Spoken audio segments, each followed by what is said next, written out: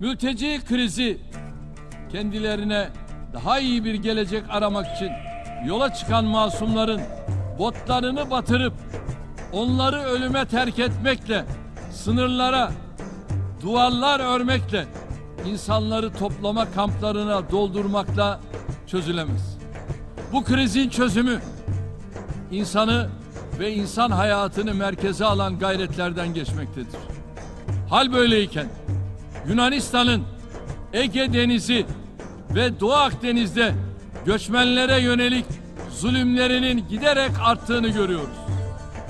Türkiye olarak biz yeni aylan bebeklerin cesetleri kıyıtlara vurmasın diye çırpınırken Yunanistan hukuksuz, pervasız geri itmeleriyle Ege'yi bir mülteci mezarlığına çevirmektedir.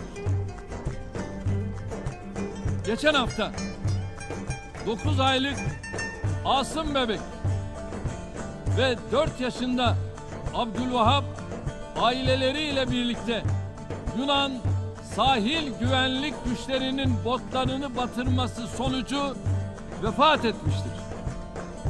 Avrupa'nın ve Birleşmiş Milletler kurumlarının insanlığa karşı suç teşkil eden bu acımasızlıklara artık bir dur demesinin vakti çoktan gelmiştir.